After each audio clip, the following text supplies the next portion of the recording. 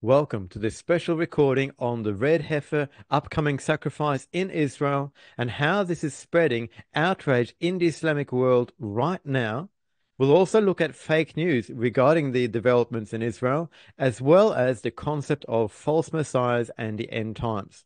My name is Enoch Lavender, and I'm a pastor who specializes in the Jewish background of our faith.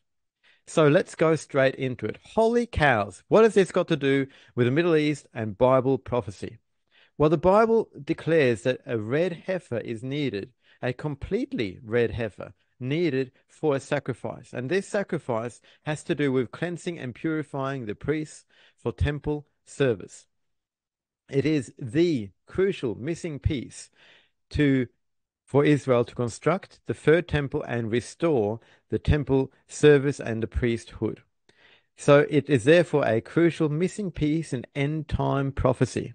Now, in 2022, five red heifers were flown in from Texas to Israel. Why? Well, because it's been extremely hard to find completely red heifers. In recent years, there have been several uh, possible uh, cows identified who would match the description. But then, as time has gone by, they've grown a few white hairs, they've grown a blemish, and they have been disqualified. So the years have gone by, and the Temple Institute and other pro temple organizations began to reach out, in particular to farmers in Texas. And there, some Christian farmers set aside five perfectly red cows or red heifers who were imported to Israel in 2022. Now, right now, uh, they are getting very close to being ready for the sacrifice because they have to be between the ages of three to five years old. So it could happen now in 2024, sometime near Passover or between Passover and Pentecost. Uh, ultimately, they wouldn't want to wait for too long because the heifers may develop a blemish in a few months' time or in a year's time and be disqualified. And given that they are so extremely rare and that they are such a crucial missing piece regarding the, the temple and the third temple, uh, it is important for them to act with the heifers that they now have ready. There is a rabbi called Tzachi Mamo who already has a plot of land set aside near the Mount of Olives in preparation for the sacrifice. The sacrifice has to be outside of ancient Jerusalem and it has to be towards where the temple used to face. So the temple faced east towards the Mount of Olives, and that is where the sacrifice would have to take place. Now, this week in March, end of March 2024, the Temple Institute held a special red heifer seminar in ancient Shiloh teaching in Hebrew about the, the practice of the red heifer, teaching how uh, the various intricate elements all come together. It is extremely complex, uh, the whole system involved, and they are seeking to adhere to the finest little detail because it needs to be kosher. It needs to be done in accordance with the law and the commandments that God has given. And they also have to follow and research the traditions that teach them how to perform the sacrifice. Now, this Saturday, the 30th of April, is the Sabbath of the Red Heifer uh, on the, the Jewish Torah portion reading. So there, every week, the Jewish world gets together and reads different portions of Scripture. And this week is called the Sabbath of the Red Heifer. So they're reading about the importance of this sacrifice and they're reading about it now in the lead up to Passover.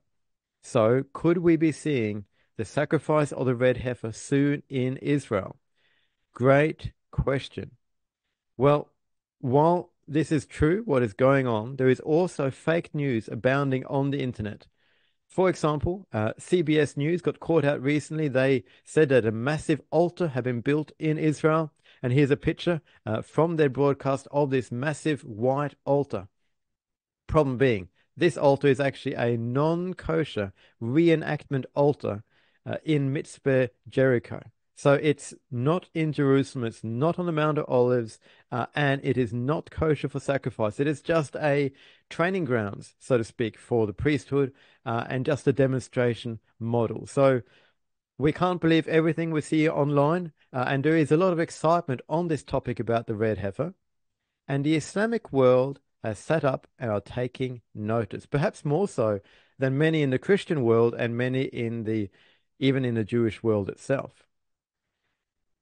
So the the horrible Hamas terror attacks on October 7 were called Operation Al Aqsa Flood. That's what they called it. And their reason for calling it that was explained by Abu Ubaidah, who's a military spokesman for Hamas. And he said that the aggression against our path and against Al Aqsa, in his words, reached its peak with the bringing of the red cows. So he was claiming that the, the red heifers brought to Israel were a key catalyst in their mind uh, for the attacks and the atrocities. Now, no doubt there are many reasons going on. No doubt there are many uh, ideas swirling in their head and rationale for attacking Israel in the horrible way they did on October 7. But they do know that the issue of a temple being constructed in Jerusalem and the issue of the red cows is something that the Islamic world is listening to and can bring many to the cause of Hamas and other similar groups. In fact, just in the last few days, a video has been released on the number one Muslim YouTube channel. And that you can see here their recent videos on Ramadan and Quran having a few thousand hits each, but their video on the red cow marks the age of Dajjal has had over 400,000 views in two days. So this is from their channel called Merciful Servant. It has 4.5 million subscribers, and they say, and I quote in their video, after the sacrifice of the red heifer takes place, you will see an unprovoked attack against Al-Aqsa like never before. Their intention is utter destruction to the point in which they can commence building the temple of Dajjal on top of the ruins of Al-Aqsa. So what are they saying? They're saying that when the red heifer sacrifice takes place, it'll only be a matter of time before there'll be an all-out attack on the Islamic mosques on the Temple Mount uh, in order to bring about the building of a third temple. And obviously this is incendiary. This is something that will cause a, a reaction in the Islamic world, an unprecedented reaction.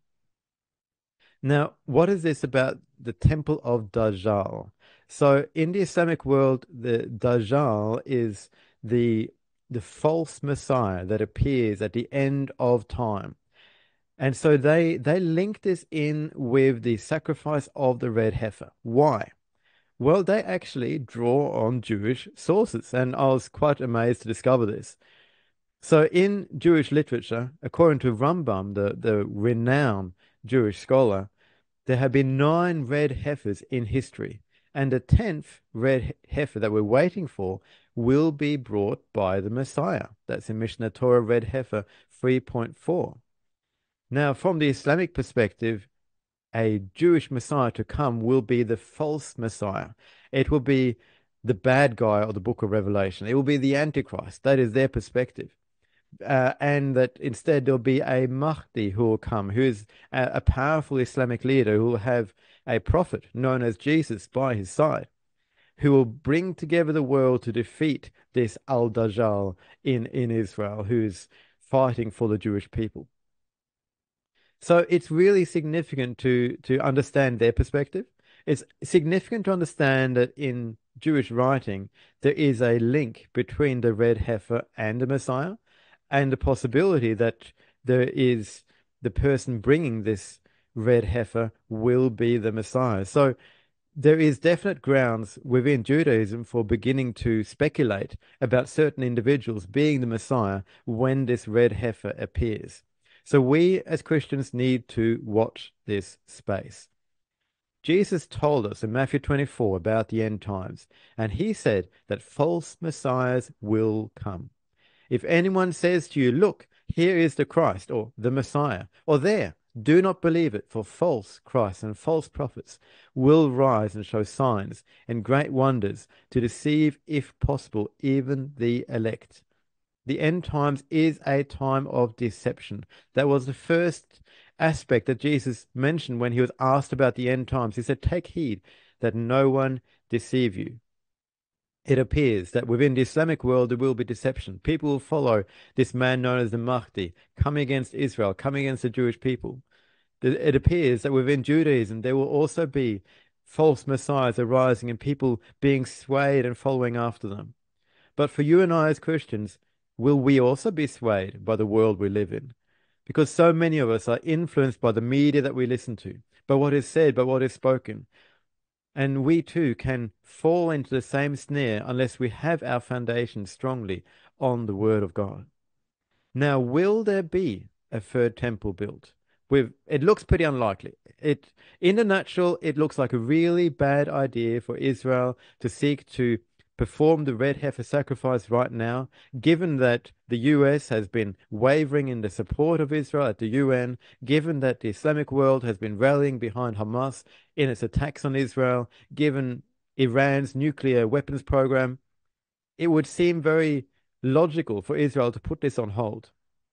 But people within Israel, some of the hardcore, will be saying we need to go there anyway.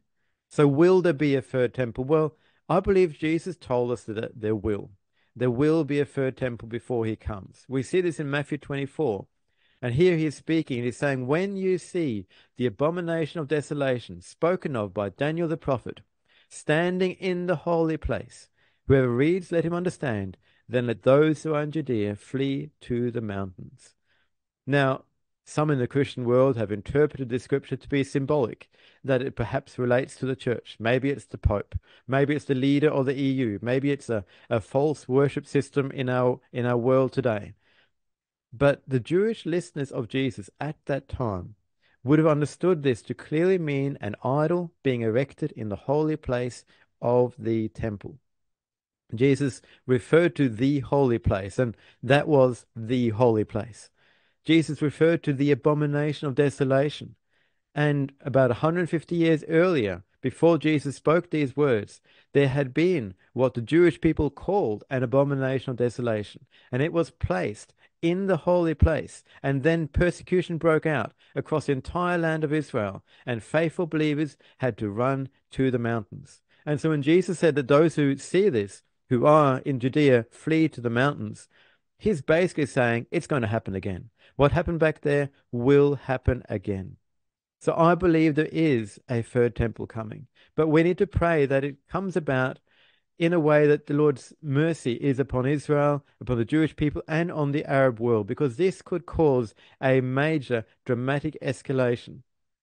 I don't believe that God just wants bloodshed for the sake of it. Yes, He does judge our world, but we need to have a heart of compassion that cries out for the salvation of Jew and Arab alike that our world will get to know him as Messiah. We're not just here to eagerly wait for prophecy to be fulfilled. We are here as the ambassadors of the Lord to pray, to pray for the salvation of many, and to be active witnesses on his behalf. So while prophecy will be fulfilled, we need to pray for protection and mercy. Now, modern Judaism has moved away from the sacrificial system. They don't believe they need sacrifices anymore. But coming back to building a temple will mean that they will be doing sacrifices again. And I believe that will point them to and prepare them to receive Him who was the ultimate sacrifice, Him who gave His life as the innocent one on their behalf, Jesus, Yeshua, our Messiah. Now, if you'd like to know more about the temple, if this topic is something on your heart, I'd encourage you to check out my book, Rebuilding the Temple. It talks about how Israel is moving today towards the third temple, how they were very hesitant in the past, and the changes happening on the ground. It talks about the Islamic world and its view regarding the third temple and a possible compromise that is in the wing. It asks the question whether this temple to come is an antichrist temple or whether it is holy in the sight of God and how should we as Christians respond. It's available on Amazon. I would encourage you to check it out. If you have comments or questions, please leave them at the end of this video. Subscribe to us on social media. Visit our website for free newsletters, resources. Support us as we develop more teaching resources like this.